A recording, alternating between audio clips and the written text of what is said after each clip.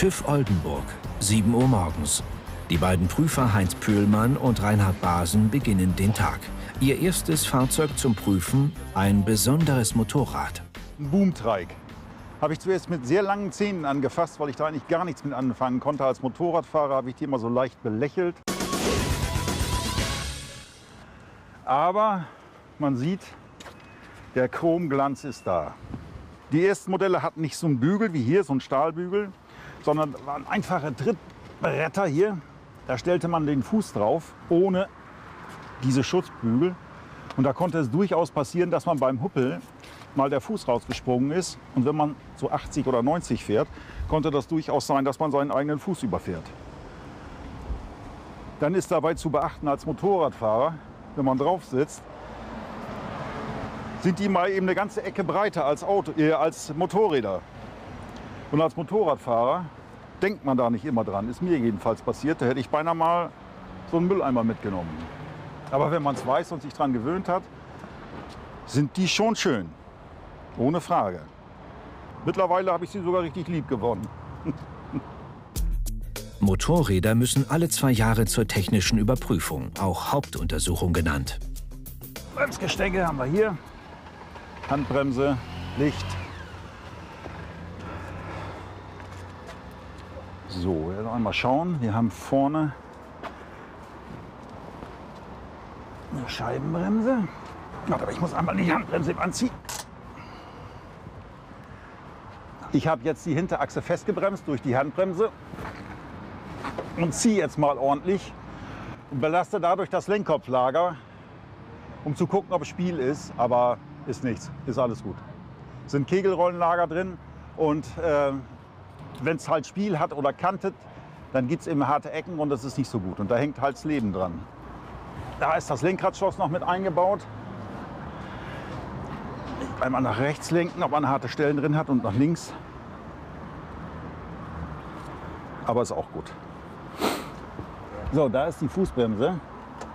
Man kann auch diese Bremse verstellen und da die Größe des Fahrers ein bisschen anpassen. Mit der Länge rauf und runter. So, einmal die Hinterachse. Bereifung hatte ich vorhin schon mal drüber geguckt. Bremsscheiben sind gut. Blitze blank. Räder, Radreifenkombination passt. Einmal noch die andere Seite. Nochmal grob gucken, ob irgendwas anderes angebaut ist. Ist aber nicht. Ein wichtiger Bestandteil der Hauptuntersuchung ist der Bremstest. Heinz Pöhlmann überprüft jede Achse einzeln. Ja, das nächste, was kommt, ist Bremsprobe. Dazu fahre ich einmal auf den Rollenbremsenprüfstand und kontrolliere dabei die Hinterachse. Und das zweite Mal äh, mache ich noch mal eine Probefahrt im, äh, wie mit dem Motorrad und bremse noch mal ordentlich und gucken, ob es die Spur verlässt. Aber eigentlich ist das nur noch die letzte Kontrolle und ein bisschen Spaß für mich. Da kann ich mir auch noch mal fahren mit dem Ding. Muss ich eh, aber wer sagt, dass Arbeit keinen Spaß machen soll. Vielleicht ist noch zu beachten, dass man die Hacken hier nicht so unbedingt durchsteckt, so wie ich es gerade habe. Früher waren die Lücken noch etwas größer. Und wenn da mal ein Stein auf der Straße liegt oder ein Huckel, das ist schon kein Spaß. So, Bremse treten. Da sind wir. So, ganz normales Automatikgetriebe. Wie beim Auto auch. Mit Rückwärtsgang, vorwärts. Und halt Sport. Da sitzt schon richtig Zucht drin. Man kann auch mit Tiptronic schalten. Habe ich noch nicht gemacht, habe ich auch noch nicht benutzt, baue ich auch nicht. Ähm, mal schnell hupen. Licht kann ich noch mal im Blinker, kann ich jetzt vorne in der, spiegelt sich vorne in der Scheibe, dann spare ich mir immer den zweiten Mann. Ich fahre jetzt auf den Rollenbremsenprüfstand und bremse die beiden Hinterräder. Das mit dem Vorderrad haut nicht so gut hin auf, auf der Rolle, das mache ich gleich im Fahrversuch.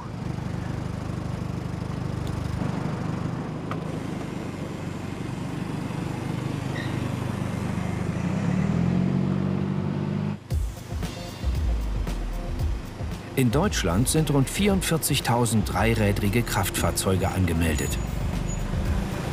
Da zeigt er mir jetzt die Bremswerte der Hinterachse an. Super. Ich fahre seit meinem 16. Lebensjahr Mofa. Motorrad, Mopik, alles Mögliche. Und ich mag die Dinge einfach. Früher konnte man mit schnell fahren, heute fährt jede Familienkutsche 200, also ist da der Reiz ab und es bleiben die Kurven. Es macht schon Spaß. Motorräder berühren mich eher als Autos. Ich habe jetzt gerade noch mal auf den Schalter geguckt, ob das Licht an ist. Ich kontrolliere jetzt einmal das Licht, aber zunächst mal muss ich mal den Helm abhaben. Ist doch ziemlich warm. In einem Gegenmonitor überprüft Heinz Pühlmann die Lichteinstellung. Es müsste also auf der, äh, auf der oberen Linie sein. Von uns aus jetzt die erste Linie, da müsste es abschließen. Das ist halt zu hoch. So, das ist zu hoch. Auf der anderen Seite ist es auch zu hoch. Da ist halt auch zu hoch und die Blendwirkung ist dann halt zu groß. Deswegen muss nachgestellt werden und er kriegt jetzt in diesem Moment keine Plakette. Also muss die Werkstatt noch mal einmal kurz nachbessern. Ich hebe jetzt mal eben die Motorklappe rauf. Jetzt müsste ich noch mal schnell einen Kollegen haben, der mir hilft. Reinhard, kommst du noch mal eben? Da bin ich. Ja, Jetzt hängt er. jetzt hängt er. Alles klar. So, jetzt noch mal einmal reingucken, alles fest ist, ob irgendwas leckt. Jo, super. Hier hinten kann zu. So, weil ich das Ding nicht auf die Bühne nehmen kann, muss ich mich da halt mal drunter legen.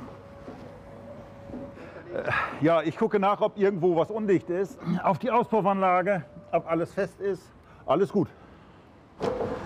Ja, es geht so. Zack, fertig. So, Plakette kann ich leider nicht erteilen, weil das Licht zu hoch ist, wegen der Blendwirkung des Gegenverkehrs. Ich fahre jetzt das Motorrad nach draußen auf den Parkplatz und da freue ich mich drauf. Ist schon schön. Falsch eingestelltes Licht ist einer der häufigsten Gründe für eine nicht erteilte Plakette. Ein Mangel, der sich schnell beheben lässt.